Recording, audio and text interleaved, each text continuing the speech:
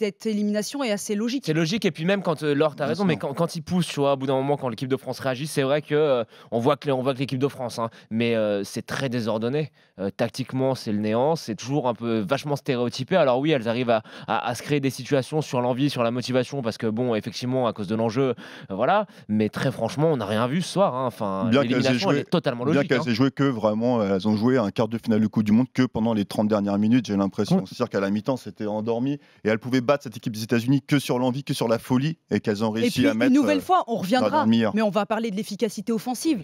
Les trois quarts des buts marqués par l'équipe de France, bah, c'est Wendy Renard qui les a marqués sur des coups de pied arrêtés. Donc forcément, à un moment donné, bah, on, remet, on remet en question cette animation. Mais on l'avait dit dès le premier match. Enfin, on avait, ce qu'on avait dit dès le premier match, c'était que devant, les quatre de devant, ça allait pas quoi.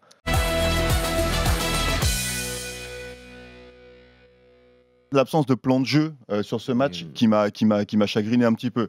Le point faible des États-Unis, qu'est-ce que Tu peux enlever sur ce match, C'était je veux dire, sur, l'arrière le gauche. début de la Coupe du Monde. clairement, Diani prenait très souvent euh, l'avantage sur l'arrière gauche.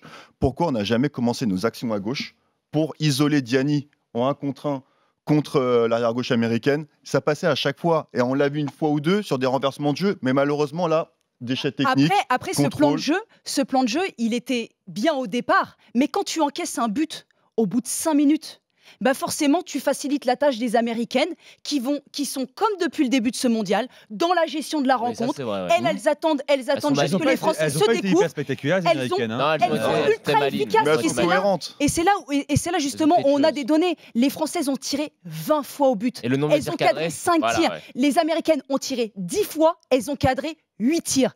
Donc déjà, c'est vraiment significatif. Ces Américaines, elles sont ultra efficaces Et c'est pour ça que c'est la première Quand, nation quand vous me mondiale. parlez de plan de jeu, en fait, ça me fait euh, penser à ce qu'on a vu euh, avec les U20 ou avec l'équipe de France Espoir. Le plan de jeu, en fait, de toutes les équipes de France, c'est un peu la même chose. Quoi. C'est, euh, Bah, c'est tu sûr. récupères la balle, tu mets un ballon sur le côté et puis tu attends que le mec sur le côté ou la nana sur le côté te fasse un exploit individuel en deux dribbles et puis bam, au final, comme ça Mais zéro intelligence en termes de foot et zéro développement tactique, bah, ça sent, ça sent moi- moi, vous sur la défense le adverse, début, là. ça donne de la bouillie. Euh, c'est de, la bouillie soir, tout. changement trop tardif, on l'a dit, Mhm. 35e, euh, Valérie Gauvin qui sort, euh, pas de schéma tactique, Mais depuis, le jeu également. depuis le début de la attends, attends, hein. attends, attends, donc c'est Corinne Diacre euh, le problème.